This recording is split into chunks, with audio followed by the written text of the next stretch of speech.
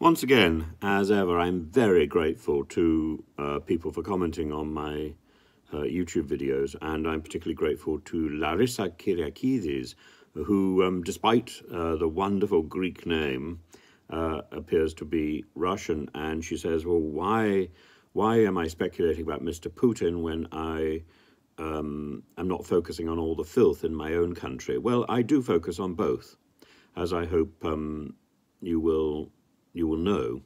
Um, I certainly don't pull my punches when it comes to um, the cleansing of the uh, Augean stables. I think um, British politics is badly in need of a wash. But so too is the Kremlin. And given the fact that Larissa has mentioned it, I think I want to go into a little bit more detail. Um, there, there was a book. There was a book published by a man called Belkovsky. And in that book, there's about a two page um, treatment of whether or not Mr. Putin is gay. And it seems that Putin spends much of his time uh, with his two dogs, Labrador Connie and Bulgarian shepherd dog Buffy. In fact, I know some of his puppies.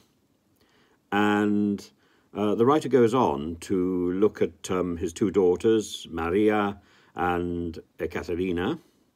Uh, I, I, don't really know where they fit into the story, I must say. But then he goes on to speculate that Putin um, is gay. And I mean, it, it's almost as far fetched as suggesting that um, Gordon Brown or uh, Prince Edward or, God forbid, um, you know, various foreign secretaries might uh, be harbouring homosexual tendencies, latent or expressed.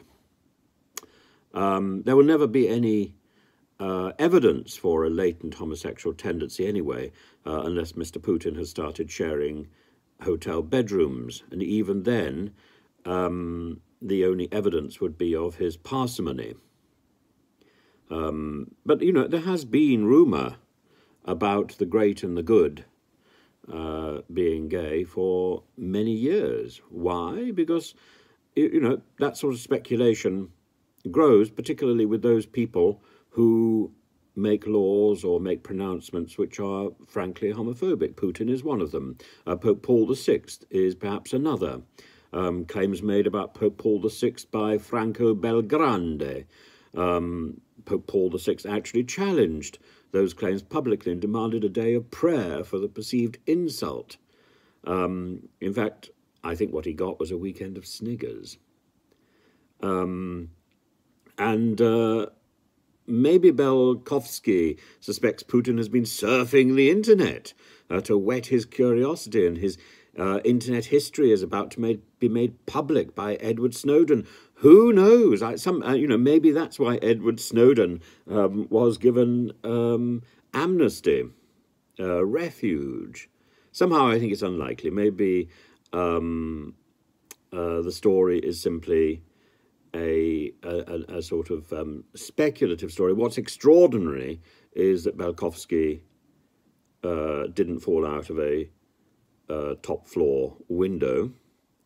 And that then Putin went on to sign Article 621 saying that um, promoting a non traditional lifestyle uh, was something that would produce initially fines, then prisons, prison sentences ratcheted up by the um, uh, Speaker of the Duma, uh, a man called Pyotr Tolstoy, who's very proud of his achievement there, and now um, uh, and, and, and now something which encompasses the whole of the Russian population, not just people under 18. So I think there's a lot to be said for the speech in Hamlet, or, or, the, or the line in Hamlet when Hamlet is showing his mother the play, and he turns to his mother and says, uh, Madam, how like you uh, the play? And she says, Methinks uh, the lady doth protest too much. And maybe that is Mr. Putin's problem. Uh, but maybe Mr. Putin has, um, has more pressing issues on his mind, like cancer, uh, like survival, um, like keeping up a front rather than keeping up a beard. And, um, you know, whether Alina Kabayeva is that beard or not, I suspect in the long run isn't going to matter that much, is it? Um, I, I know myself from dealing with cancer, it sort of comes and goes, it weakens one, and uh, Mr. Putin must be having a very tough time of it, and I'm very sympathetic about that, as I'm not terribly sympathetic about the speculation about whether or not he's gay, um, and uh, it doesn't really matter that much, does it, in the long run? But I would, I, I, I wouldn't hesitate to dish the dirt on British politicians in the same way as I wouldn't hesitate to um, uh, to say what I read about Russian politicians. You know, we uh, th- th- there is there is an absolute standard of service in political life, and that is to be good and to be um, straightforward and to try and do the best for the people one represents. Putin is not doing so, and nor indeed are many people in the current British government. There we are.